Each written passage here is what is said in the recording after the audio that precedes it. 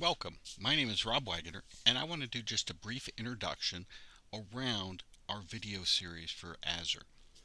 So I'm part of the TS2 team, Technology, Strategy, and Solutions, and we're focused on our SMB partners and how we can help them be successful with Microsoft solutions. So this is just a brief introduction. We're going to focus on, of course, Microsoft Azure, and I always want to point you to our blog. TS2blogs.com redirects to our overall blog site, or azure.msts2.com will redirect you to all of our Azure videos.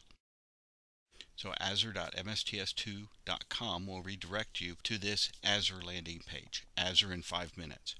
Our goal is about a 5 minute video to give you the high points of what you're looking for. And then in each blog we'll give you additional detail on how you can do more study and continue to dig deeper into that topic. So for now, welcome and please help yourself to our videos. We'd love the feedback, so if you have any questions, please feel free to share.